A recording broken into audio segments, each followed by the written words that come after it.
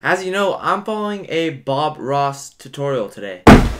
Here's a pair of shoes. I just typed in Bob Ross on the YouTube web and the first thing that comes up is a video with almost 18 million views called Island in the Wilderness. So if it has almost 18 million views, you, you know it's gonna be good. I think the first step um, is just to honestly watch the video. So let's see what almost 18 million people really watched.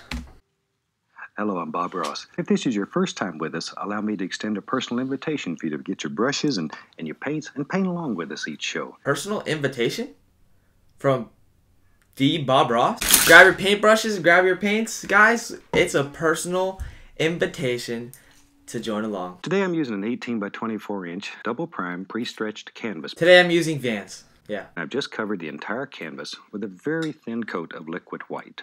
I don't have liquid white, and I don't know what that is. So I'm just gonna follow this, skipping that step, and just do it on dry shoes. So let's start with a little two inch brush and a touch of the alizarin crimson. I think alizarin crimson is just like a cooler way of saying red. Okay, well that looks pretty alizarin to me. So using a little crisscross strokes. Exit. Okay. Okay, I also forgot to um, tape off the sole. I was about to get paint on the sole and I don't want that. Bob Ross doesn't do it, so I'm not gonna do it. Let's continue to do the sky. Okay, this is not looking as good as his. Okay, now we're doing water. I don't know why. Dang, this looks really good. And then, the most fun part of this whole technique. Oh, the most fun part, right here. Is washing the brushes. Shake off the excess. and just beat the devil out of it. That's really the most fun. Now that my devil out of my brush has been beaten, there's still 22 minutes left on this video. And that's a long time. So now I'm gonna move the camera over here, film me doing the rest of the shoe, put some non-copyright music on it, and show you how it turns out. So let's go. Let's do that now. Come on, let's go.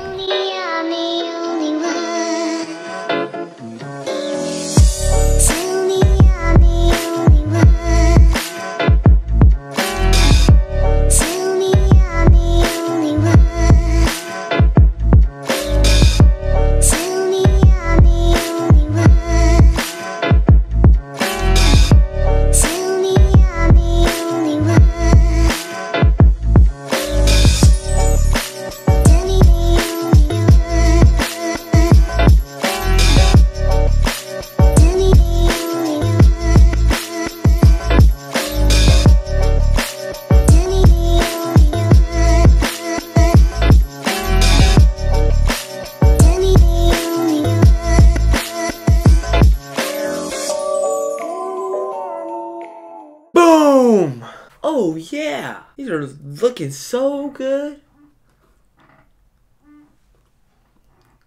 I hope you did enjoy the video though, watching me um, try to watch Bob Ross and try to put his uh, masterpieces on this shoe. That's all I have for you today. I hope I'll see you next time. Bye.